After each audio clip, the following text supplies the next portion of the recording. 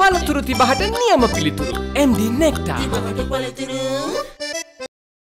විශේෂයෙන්ම මේ කාලේ තියෙන්නේ දිවෙනට බනපාන අන්තර්මෝසන් සමය. එතකොට අද දිනේ සිට 14 වෙනි දින දක්වාම සූර්යා දිවයිනට ඉහළින් මුදුන්ගත වෙලා තියෙනවා. එතකොට මේ தත්ත්වයටතේ හොඳින් සූර්යාලෝකයේ වැටිලා ජලාශවල තියෙන ජලය වාෂ්ප භවනය වෙලා වායුගෝලයට ජල වාෂ්ප එකතු වෙනවා. ඒතර වායුගෝලයට ජල වාෂ්ප එකතු වීම තුලින් තමා වැහි වලාකුළු ඇති වෙන්නේ.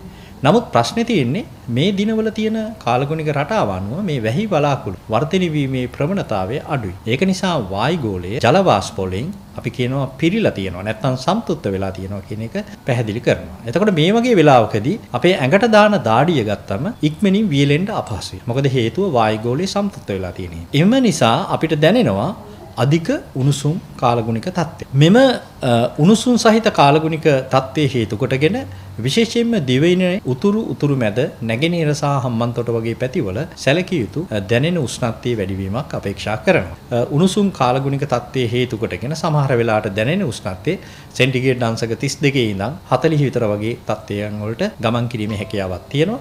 ඒතකොට මෙවැනි තත්ත්වයන් අධික වේසි වේසකාරී තත්ත්වයක් වෙනවා. ඒතර එවැනි අවස්ථාවකදී විශේෂයෙන්ම නිරන්තරයෙන්ම ජලය පානය කරන්න කියලා අපි ජනතාවට පැහැදිලි කරනවා. ඒතර මේ උණුසුම් කාලගුණික தත්ත්වය පහව යන්න නම් අනිවාර්යෙන් අපිට සැලකිය යුතු වර්ෂාපතනයක් ලැබෙන්න ඕනේ. එතකොට දැන් මේ දිනවල තියෙන தත්ත්වය අනුව අපිට එහෙම සැලකිය යුතු වර්ෂාපතනයක් පේන්නේ